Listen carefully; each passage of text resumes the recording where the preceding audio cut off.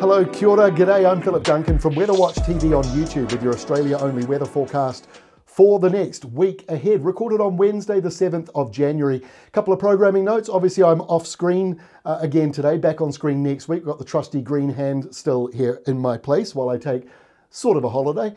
Uh, and the other programming note is we currently don't have a video planned for tomorrow, Thursday, but in saying that, we are monitoring what is going on up here around the Coral Sea in Queensland with this potential tropical cyclone. And as you're going to see in a moment, the word potential is quite relevant to this particular low. It is a messy one and it may or may not turn into a cyclone. So at this stage, no video planned for Thursday, but if we see more development with this low, we will have a special Queensland update. Let's have a look at the satellite imagery showing some rain uh, up here in the green around Queensland as that low starts to deepen, also up around the far north of Queensland, the tropical uh, thunderstorms, but elsewhere, really quite dry. I mean, we've got a few inland thunderstorms and a couple here around parts of the Northern Territory. A few showers and a few isolated thunderstorms in this line of convergence through Western Australia. Most of the wet weather, though, is actually forming offshore.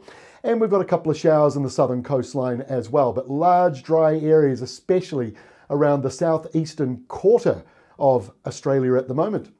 On the air pressure map, you can see why. High pressure just out here in the Tasman Sea. That is the reason why it is dry and why the temperatures are going up in the southeastern corner of Australia at the moment. The southwestern corner mostly dry, but a more refreshing airflow coming in, a southerly wind along that coastline going all the way up to the Midwest. Obviously offshore, uh, we've got severe tropical cyclone Jenna. That is going to fall apart. You can already see it sort of squashing into this high pressure zone. That high will just smother it. But at the time we recorded this, it was a severe category three tropical storm. And we've got the low up here. We're also monitoring this one. That is the one that could form into a cyclone. But because of this high in the Tasman, you can see how the high pressure zone has this southeasterly wind going all the way up to about Cairns. And that is the airflow that is kind of interfering in that low, deepening and turning into a tropical cyclone. So that's why there is a question mark over it. So here on Thursday, we've got a large but lazy area of low pressure in the Solomon Sea, Coral Sea area, feeding in rain and showers and easterlies and a fair bit of humidity for those of you in Queensland. At the same time, the heat extends right down all of New South Wales under that heat the ACT as well, and much of Victoria, all pretty much all of South Australia, except for the very, very southeastern corner. High pressure is moving into Tasmania. It's warm, but it's not as hot as it is up here in New South Wales. So certainly hot, but mostly dry weather over the southern half of Australia and even up in the tropical third, the usual thunderstorms, but really nothing too dramatic. By Friday, the low in the Coral Sea area is starting to get a little better organised. That is because the high pressure zone that's interfering with it in the Tasman drifts closer to New Zealand. And as that high, the anticyclone here, drifts closer to New Zealand, it allows the low up here in the Coral Sea to get larger and to move closer towards Australia itself. Also, as the high moves towards New Zealand, it drags down that north to northwesterly wind Hot weather for you in Canberra and Sydney and Newcastle and all up along the eastern coastline of New South Wales. Hot and tropical weather right across Queensland, hot right across South Australia and much of Victoria. Again, it's just that little part of the south here between South Australia and Victoria, sort of around Mount Gambier. It's still going to be hot, but it may not be quite as hot as for those of you just a little bit further inland. A couple of showers around Tassie, otherwise settled. And Western Australia still dealing with a southerly wind. Might produce a little bit of cloud, a couple of showers, and a brisk southeasterly coming out here. That'll lift up the temperatures for some of you. As we go to Saturday, now we're seeing a larger, more significant low pressure zone around uh, Queensland. Out to the east, the high pressure system here, now more around New Zealand. So that means the hot weather exits Australia. It moves towards New Zealand as a windy, hot northwesterly uh, coming through there. The more refreshing southerly around the high pressure zone south of Western Australia, that now moves into Adelaide, it moves into Port Lincoln, it moves into the uh, southern part of South Australia, and it moves right in across all of Victoria by the end of Saturday. So that is a refreshing change. If you're in Tasmania, it'll become cooler for you and windy as well. Southwesterly winds could be gusty on Saturday as that temperature drops. But let's go back up to Queensland. I want to show you the three different computer models and what they're saying at the moment.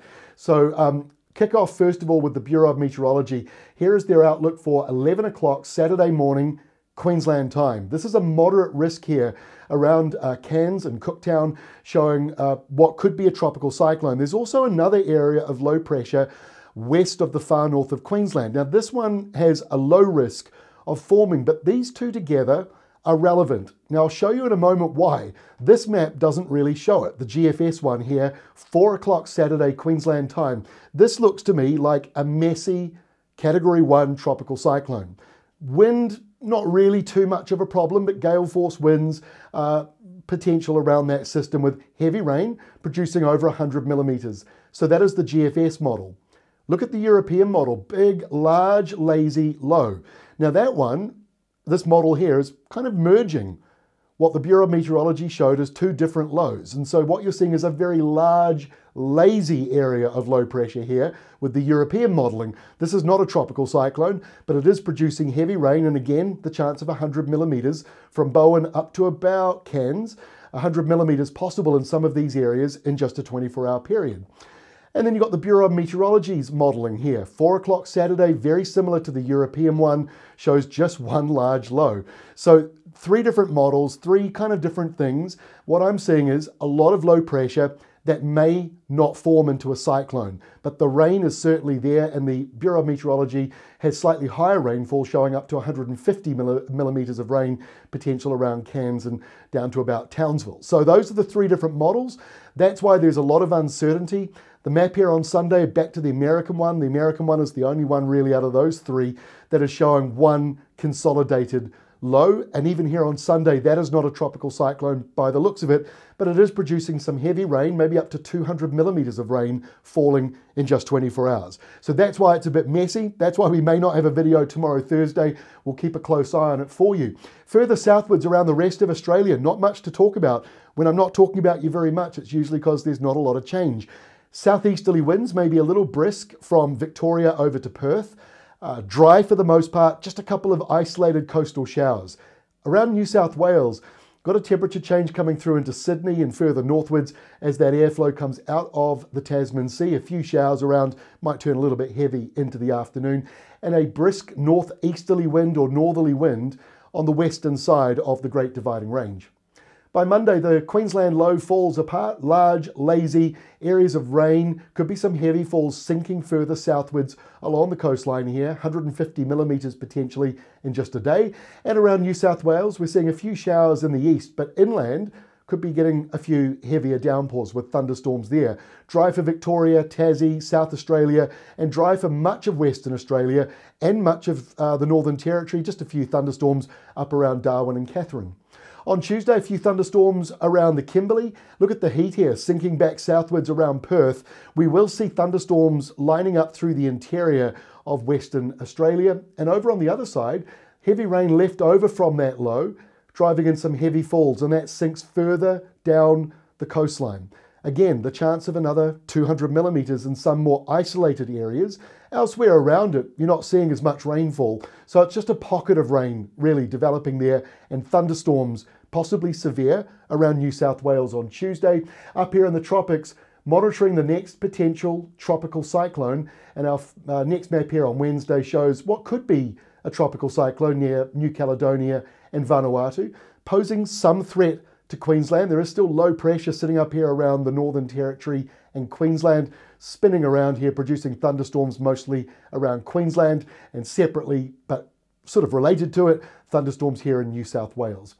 Let's take a look at the rainfall now before I go. The next seven days, get an idea of what is going on. So you can see that tropical rain now. It depends on which of those models is accurate, but we're seeing 200 to 300 millimetres coming through in some areas and potentially further down the coastline as well. So a risk of flooding around Queensland over the next week. Thunderstorms uh, noticeably standing out here around New South Wales, also around the top end and the Kimberley. Elsewhere, very little to talk about over the next week ahead.